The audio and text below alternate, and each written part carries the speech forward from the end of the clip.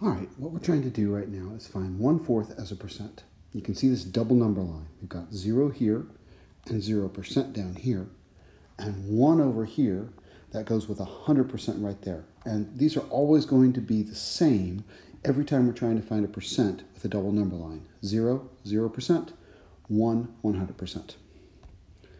So what I'm trying to do is I'm trying to figure out where 1 fourth goes. So what I want to do is label this first tick mark with 1 fourth, and I want to count over by fourths.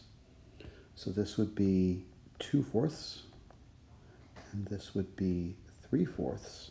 And that means when I got all the way over to here, that would be 4 fourths. And I want to start counting. 1, 2, 3, 4. All right, so what I'm doing is I'm dividing 100% into 1, 2, 3, 4 spaces. Well, that's pretty easy. I know how that goes. That's going to be 25% here and 50% here and 75% here. I'm counting by 25s. So in particular, what I'm able to do now is emphasize that 1 fourth is the same thing as 25%.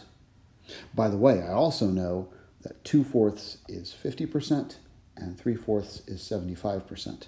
And it might just be a little bit helpful to think about the fact that one fourth of a dollar is 25 cents and one fourth is the same thing as 25%. So let's try that again, except now I need to find one third as a percent. Same start, 0 goes with 0%, 1 goes with 100%, and I need to draw, so let me see, I'm going to count by 1 thirds. Oh, let me see, I need to, need to have a 2 thirds here.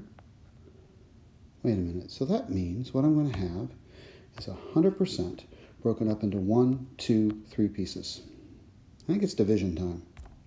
So what I need to do is I need to take 3 and divide it into 100. Let me see, that's 3. There's a 9. Subtract. Get a 1. Bring down the 0. So that goes in 3 times. Subtra multiply and subtract. We get a 1. Now normally, at this point, I would tell you because we've done all this work with decimal arithmetic. I would tell you that it is time to put a decimal point here and bring down to zero, but we're not going to do that in this case. So in this point, we're not going to do it. Instead, we're going to take what we have here and write this as a mixed number. So the way we're going to do this is we're going to write our one third as the following 33 and one third percent. In other words, one third as a percent is 33 and one third as a percent.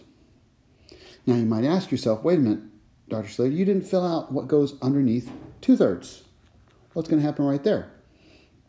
Well, if I'm interested in two thirds, right there, then what I need to do is I need to take what I have right here and double it.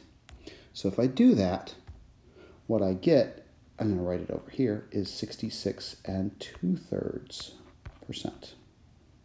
You know what? Let's box that off. 66 and 2 thirds percent is what goes with 2 thirds up there, and 1 third goes with 33 and a third percent. And there's some examples of how to find fractions as percents using a double number line diagram.